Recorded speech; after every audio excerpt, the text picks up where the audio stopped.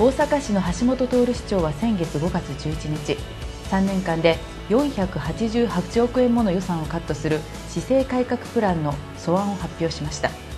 見直しや廃止される対象となった事業は100以上に上り教育分野や福祉分野など多岐にわたります。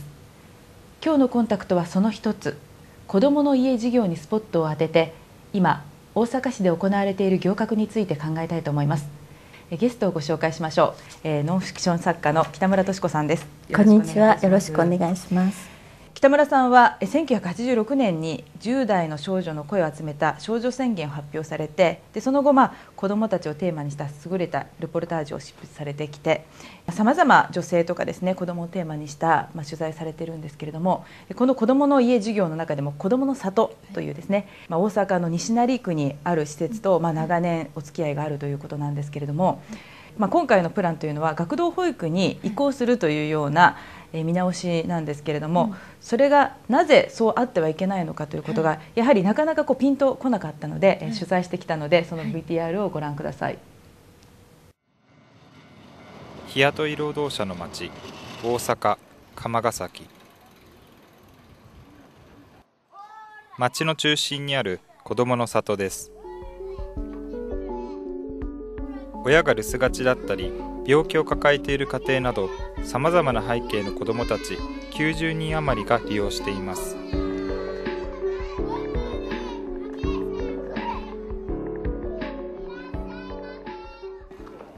子どもの里は1977年釜ヶ崎の4つの児童公園のうち3つの公園の出入り口が鍵で施錠され子どもたちの遊ぶ場がなくなったことをきっかけに学童保育子ども広場として始まりました。1996年には大阪市独自の政策として学童保育から子どもの家事業へと移行。地域の子どもたちのいわば駆け込み寺として全国に支援の輪が広がってきました。学童保育の対象が小学校1年生から3年生までであるのに対し子どもの家は0歳から18歳の全児童が利用できます。館長の正保智子さん。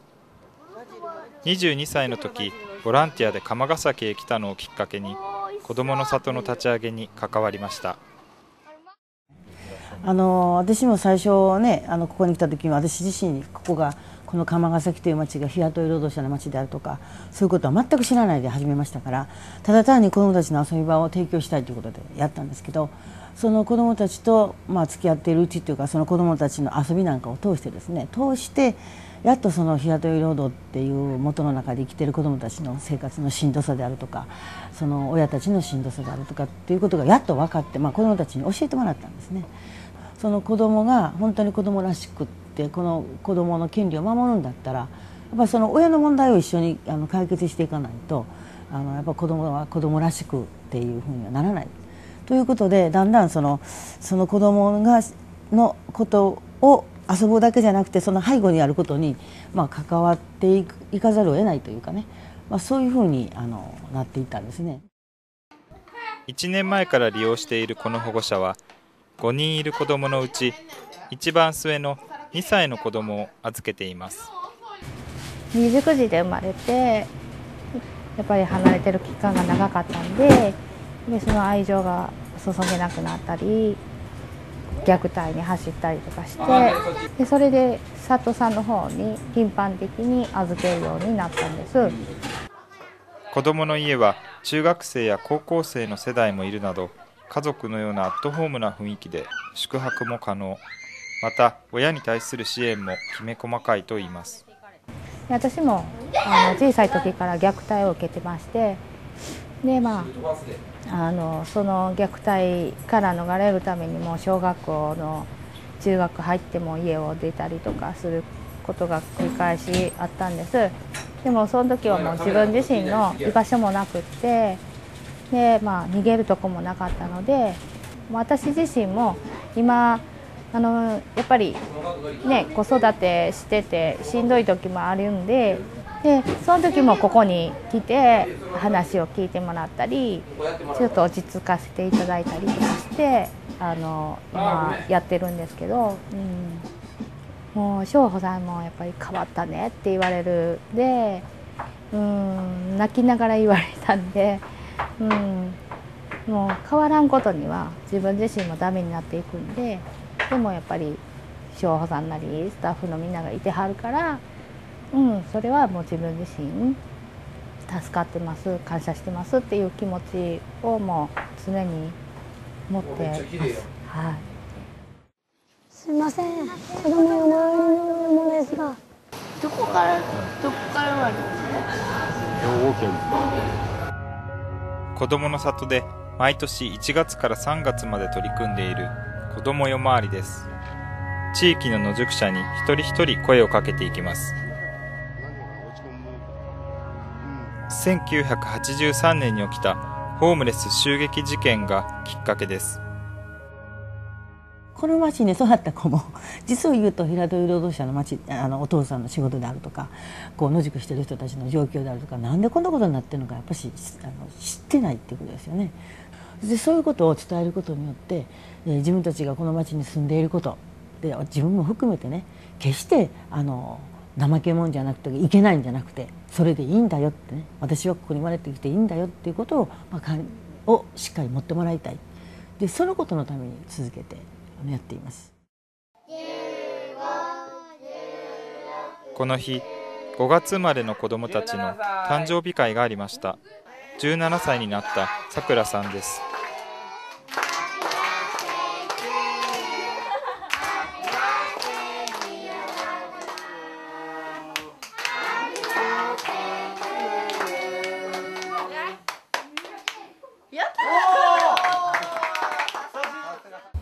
小学校6年生の9月から11月まであのここで住んでてでそこからなんでも5年ですかね、うん、まあ、家族が母だけで2人なんですよ母と、うん、で母は精神的にその弱い方なので、よくこうボーってこう沈んじゃうんですけど、その時って私はまあほったらかしじゃないですけど一、うん、人になっちゃうんですよね、うん、そういう時に学校の帰りとか子供の里に来て、うん、まあ寂しさを寂しいとは言葉では言わないですけど、みんなにこう話して、話聞いてもらって、みんなと一緒に同じことねなんか同じ行事とかして、で言葉では私は寂しいって言ってないんですけどみんな気づいてくれるんで「何かあった?」って聞いてくれて母よりも私のこと分かってくれてて家よりもあったかくてで守られてるような気がするんですよここにいると。であとはそうですね私泣けない人なんですけど、うん、人前で涙流せないんで今までそれがずっと悩みだったんですけど、うん、グーってなった時にここでだったら泣けるんですよ、うん、あのスタッフの人が話聞いてくれるし、信用も信頼もしてるし、受け止めてくれるんで全部。だからそうですね。本当に自分の人生の中で一番大きな居場所って言ってもいいぐらい、うん、ここがすっごい大切な存在なんで、うん、うん、すごい居場所ですね私にとって。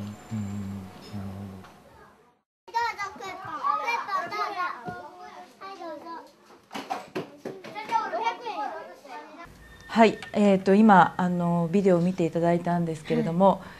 このビデオを見て私もその本当に学童保育やその今までこうイメージしていた子育ての授業と全く異なるというか、本当にまあ独自のものなんだなということがこう映像で見て感じたんですけれども改めてその北村さんこのまあ子どもの里が行っているようなね、はい、あの取り組みの意義っていうのはどういうふうにお考えでしょうか、はい、あの家族であろうがなかろうが血のつながりでがあろうがなかろうがここが一つのホームアットホームなホームがある家族だっていう。やっぱり地域の中にもう一つ第三の子どもたちの逃げ場所居場所がいる。それがやっぱりあのそれこそシェルターでありホームだと思うんですね。だから里の子たちはもしかしたらハウスは不完全かもしれないけどここに来ればホームがある。そういう子どもたちのギリギリの最後の砦になってそれこそ明日リストカットするかもしれへん子が多分たくさんたくさん救われてると思うんです。それと同時にやはりここのすごいところは子どもの逃げ場であると同時に親の逃げ場でもある。でね一つエピソードですごい表してるのがあるんですけどあとまた障害を持ったお母さんでもう大阪中のいろんな施設もあったけどもこの子預かれませんって断られたお母さんが多動でねあのバーッと道路飛び出したりいつ何するか分からないからもういつもこう見張ってなあかん状態。だからあのそういう支援学校には行っているけれどももうお母さん学校終わるとすぐお迎えに行ってもうすぐ連れて帰って家鍵かけて閉じ込めてたと、うん、そうしないともう何が起こるかわからないだけどそれもうお母さんとしては疲弊しますよね。で最後ギリギリのところ全部断られたけどこの子供の里に出会って「かまへんよ連れておいで」って。で初めて夕方自分がお迎えに行かんでもあの里の職員が迎えに行ってくれて夕飯できるまで見てくれてる。この時間が初めてお母さんできた。で何て言わはったかっていうと「いや夕日ってこんなして落ちてくんやね」って、うん、今まで夕日を見る余裕がなかった初めて夕日をじっくり見れる時間が取れた。これ人間としてね当たり前の時間をやっぱお母さんに保証してあげること。やっぱお母さんが幸せでないと子どもの幸せをも守れないですから。やはり子ども支援であると同時にやっぱその一番そばにいる親支援でもあるこの両方を満たしてくれる存在っていうのはもうなかなかないんですね。でこういう密な関わりはやはり今の学童保育には限界もあるしそれ学童保育が悪いって言ってるんじゃなくてやっぱり7時までとかそれ以上延長するならお金がいりますとかお金が払える人はいいけど本当に貧困の中で一番しんどい人たちが必要としているギリギリのところであの逃げ場になってくれる。うんぱり地域の中に誰でも来れる誰でも受け入れてくれるしかも無料でこれはやっぱりものすごくニーズが高いと思います。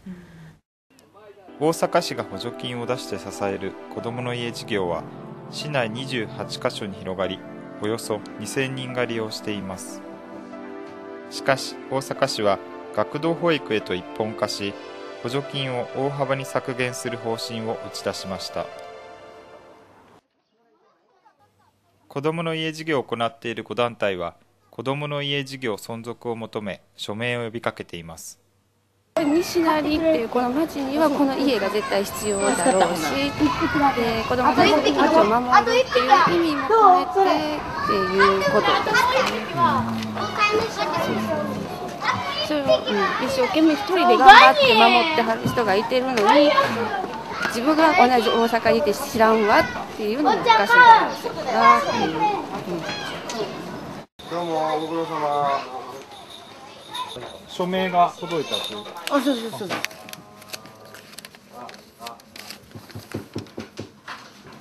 この町にある子供の里はこの町にあるから子供里に関わってくれた人もボランティアさんとかで関わってくれた人たちも署名とかくれますから、補助金がなくなったら職員のその給料とかに響くんですけど大変かもしれないですけどけどその困っ、うん、でも子供たちからしたら別に補助金が少なくなっても来るし、うん、しんどい子はおるからうちは補助金なくなったから遊びに来んとってっても言われへんししんどい子がおるのに補助金なくなったからちょっと受け入れられへんわとはもちろん言えないから、うん、青少年局が今回な出しましたけど、うん、その関西以外で青少年局の人が来たこともないですし、直接足を運んで見てくれてるっていうのはないと思いますね。あだから今回のねこのいろんなことをあの橋本さんまあ橋本さんですけども、えー、この維新の会を通して見えてきたことっていうのはあの弱い者いじめなんですね。弱い者切り捨てです。だからこのこの署名もね大阪市じゃ何をって言われるかもわからないけども今やっぱし日本の国がこれから向かっていこうという先がひょっとしたらもう子供切り捨て弱い者弱者切り捨てっていうこの日本の社会になっていくとすれば今ちょっと待ってよってこの弱者切り捨てではあかんやろっていうことを伝えるその私きっかけにもなってると思うしそんなそんなふうにあの見てもらったらいいと思うしそのための署名弱い者をちゃんと守ってっていう国民日本国民全部からのあの声の署名だっていうふうにして思って思っています。はい、はい。えーとまあ、ご覧いただいたように署名はまあ続々と集まっていて、集まった署名が2万6985筆というふうな、あのことなんですけれどもこれがですね、えー、大阪市議会議長宛に提出されて、まあ、まさに今後あの見直しをどうするかというところで、まあ、あのパブリックコメントなどもかなりあの意見は寄せられているということなんですけれども翔穂さんがあのお話しされてたようにこの橋本市長の下で行われている、まあ、見直しについて弱者の切り捨てではないかというようなこともちょっと触れていらっしゃるんです。これについてはあの北村さんはどういうふうにお感じになっていらっしゃいますか、これはやっぱり要するにね子供は産んだ親が全面的に世話しろと。で親は子供が全面的に世話しろってあの生活保護の今ねすごくバッシング受けてますけど、はい、あれと本当セットでねだからその血縁関係による家族だけであの自分らで何とかしろよっていう、まあ、そういう意識ですよね。もうそれ以外は認めないんだっていうのはあまりに冷たいんじゃないかと。あの本当に今生活保護なんかの問題でも非常にこうバッシングというかが起きていて、はい、まあ、今全国的にこう子育てしにくい環境にありますし、もう本当に孤独死とかいうようなことがあったりとか、あるいは家族連れでも亡くなっているわけですよね。だからそういう意味ではあのむしろこういうものこそこういろんなあの地域地域に必要なところにこうあのサポートすべきなのかなとも思ったんですけれども、あの22年間で一番学んだことは無関心が最大の暴力だっていうことだったんですよね。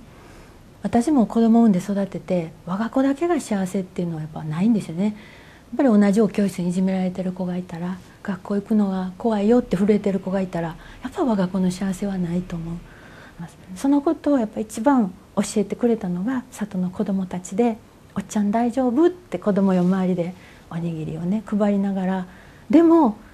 あの子供たちの道枝さんになってるのがまた野宿のおっちゃんです。子供たちが何も施してあげてるんじゃなくて「ありがとう」って「君かわいいな」って「ええ子やな」って褒めてくれる？おっちゃんたちが褒めてくれるのが嬉しくてあの子たちもう毎週楽しみにして夜回り行くんですね。お母ちゃんも褒めてくれへん。お父さんも見てくれへんのに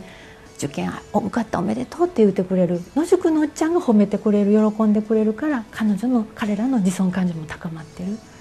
だから本当に今の日本に必要な学びの全てがあの釜ヶ崎の路上にはあるし里の子どもたちが私の最大の先生だと今も思ってます、うん今日はどうもありがとうございました。